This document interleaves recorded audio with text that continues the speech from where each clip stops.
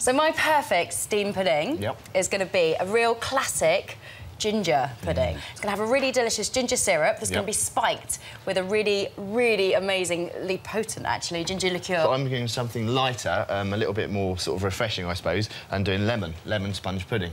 But I'm going to line my bowl with um, slices of um, confit lemon, lemon which is cooked very slowly in a stock syrup, and then the old favourite lemon curd as well. Yeah. So just to start with, I'm going to um, get my stock syrup on.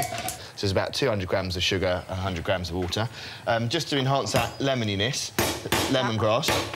That's really clever, huh? Yeah. It's my, one of my favourite ingredients. It smells amazing, doesn't it? It's just Yeah. fantastic, isn't it? But is that traditional?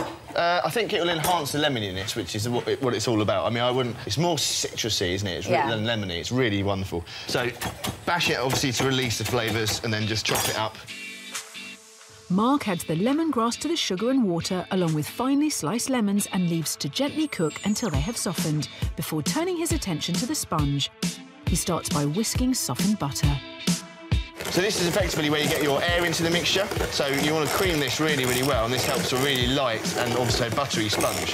Put in your um, sugar and then incorporate it, and you want to get this kind of like a pale kind of uh, white colour, and that will, you know, mean it's creamed down properly. The sugar's mixed in with all the butter, and you've got lots of air in there. I think uh, what you're saying is a really good point. I think this is one of the keys to good baking generally. So, you know, just making sure that you really beat the, almost the hell out of it. Yeah, absolutely, And make yeah. it as white as you can get it. Right, now that's that done, nice and uh, mixed in, and now the eggs. Mark cracks three eggs into a jug and whisks so he can gradually incorporate them into the creamed butter and sugar so it won't curdle. The butter almost, it doesn't want to mix with the eggs, which is why you have to do a little bit at a time, and almost just kind of give it a bit of a base. He adds the egg bit by bit and whisks the mixture until it's really light and fluffy. Right, so once that's done like that, and then we basically want to just sort of fold the flour in. So put all the flour in, and uh, you just want to fold that in gently, because obviously you don't want to beat any air out of, uh, of the mix you've just made now. So, sponge puddings. Yes. Well and truly back in vogue. Oh, I think so, yeah. People think of it as an old-fashioned kind of heavy dessert, but it's not at all. It's really lovely and really light. Extra punch of lemon. We've got the zest um, going in and the juice of one lemon, and, uh, and then Yeah, look at that. Now turn this juicy. over, and then you use that as your little catcher. Clever. So uh, and you can see that's a nice, lovely kind of mix. And you want it, what they always call, what my mum would say, is a, a drop-in consistency. Your mix just Yeah. sort of should drop Yeah, that's perfect. off there isn't like it? that, yeah. Right, so that's my base down there nicely. Mark's confit lemons need to cook until they're softened and then cool in the syrup, so he brings out a jar that are already cooked and cooled. And you've got this incredible lemon syrup as well, which um, I would, um, you know, save back as well and use, and you could spoon that over. I pinch one. Yeah, absolutely. Wow. He lines the buttered and floured pudding bowl with a layer of the preserved lemons. Would all this extra attention to detail give Mark's pudding the edge? Now this, again, is another secret weapon of mine, lemon curd. Absolutely love it. But um, I like to have a massive lump of that in the bottom, a couple of spoonfuls in there. Right, now the sponge goes in. So you want to gently sort of put that in.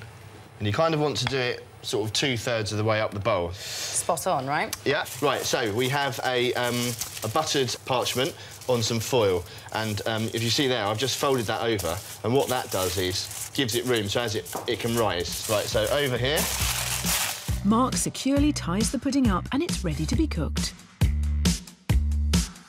um, I've got simmering water in here and a little ramekin turned up, so it doesn't actually sit in the water because you, obviously you want this steamed. Bamboo steamers are perfect for this if you've got one big enough. So you just sit that on the uh, on the ramekin, and then put a lid on. And as long as you keep the water there topped up, you can't really overcook it. With Mark's pudding safely onto steam, it's over to Gizzi and her ginger sponge pud. She starts by making the sauce with the syrup from a jar of stem ginger.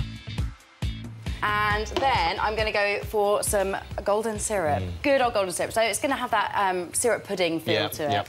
Now this, it's a ginger liqueur. This is probably not the most conventional conventional ingredient, but just adds that extra warmth, that extra gingeriness, and it just makes it a bit more adult. And if you can't find that, can you use just like a good ginger wine or something? Good ginger wine would be fantastic.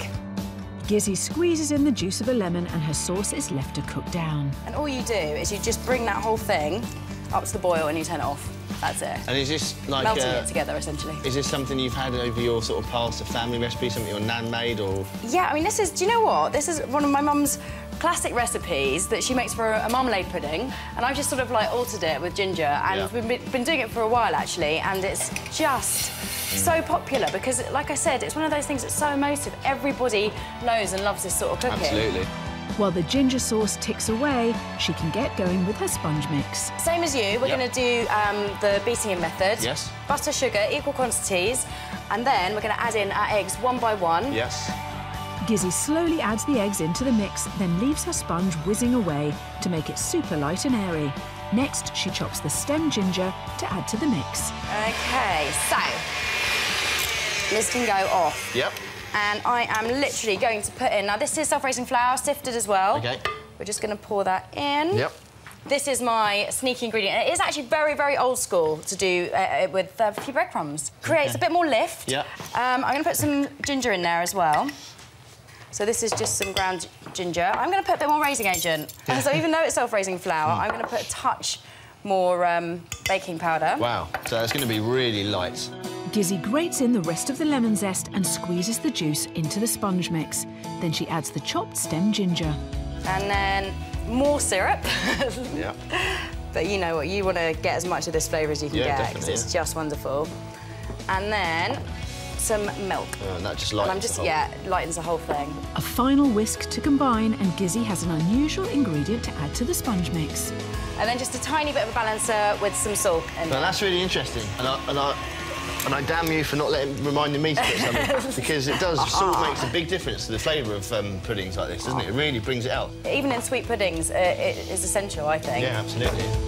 Gizzi's sponge mix is done. Now she can assemble her pudding.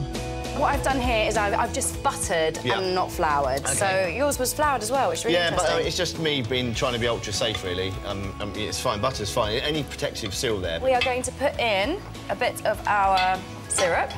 I'm going to very, very, very gently mm-hmm. pour this in. It's going Yeah. to make a splosh to begin with, and you'll see it looks like it's all going to come up up the sides, and it does initially. That's a and good then, thing, yeah, but then you want it to sort of seal in Yeah. the sponge, and then it will, as it cooks, it will drop back up to the bottom. This, all of that liquid will hit the bottom again. She covers the pudding with foil and buttered parchment, and she has a nifty trick to ensure the pudding is easy to get out of the pan. A- And then I'm just going to loop this underneath, Yeah, and it just makes it easier to lift up. to lift out. Well, that looks very good. Very professional. Okay, so we're just going to very, very, very gently pop that in. Lovely. Trying to get that on that. We've also got something to hold it up off the bottom. Yeah. And let me just pop the lid on. And I'm going to let that cook for about an hour and a half. Yep. Um, and then, yeah. So the waiting game starts now, then. Yikes. Gizzi's hoping her ginger pud will win over the judges, while Mark's convinced his light lemon sponge will do the trick.